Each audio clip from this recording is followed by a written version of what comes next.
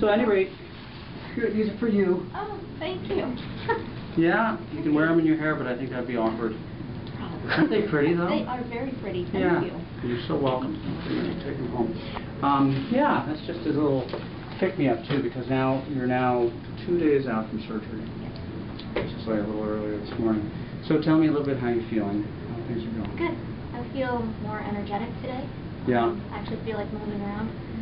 Um, not as sore. Um, and I think I might be able to wean myself off of pain meds right now. I don't Good. take anymore. Yeah, the sooner the better, because they just give you, I've been taking You know, just one every three to four hours Okay. instead of the two. So. great. I mean, constipation and problems like that. No. Yeah, those are common with pain pills. Yes. Good, how are things looking? Uh, good, I guess. Okay, so you look quite swollen right now. Um, little, you know what, these bruises right here, interestingly, are probably from um, my needle when you're asleep giving injections. Okay. to numb everything up while you're just gripping and sleeping.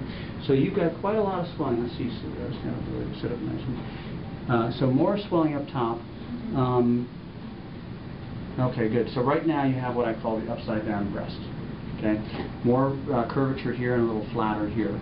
And with time, what we're going to do is, um, as the swelling comes down, you know, and this breast uh, tends to sit down a little lower. Mhm. And we, we obviously wanted to avoid a lift, which is great, and this was going to give us more of a lift than, uh, uh, than if we had gone, say, under your muscle. I think we would have needed to combine it with a little lift. Mhm. Hi, hi there. Um, okay, great. Do you have nipple sensation intact? I believe so. You touch that and Yep. feel that? Yeah, Mhm. good, that's normal, great. Okay, super. Well, you know, we're, we're going to probably just clean these incisions off uh, by uh, freshening the tape. But we'll keep those little incisions uh, intact.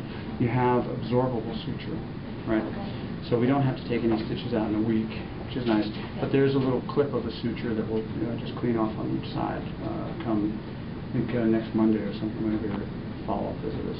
Okay. And, you know, and again, so we'll have this, you know, we're just saying uh, to Annette that with this fullness uh, and swelling that's going on up top here, I think that that bandeau does help Okay. still and, uh, Sure. and do this little bruising here. Are you on the arnica? Mhm. Okay, great. That'll, amazing, that helps clear that pretty quickly.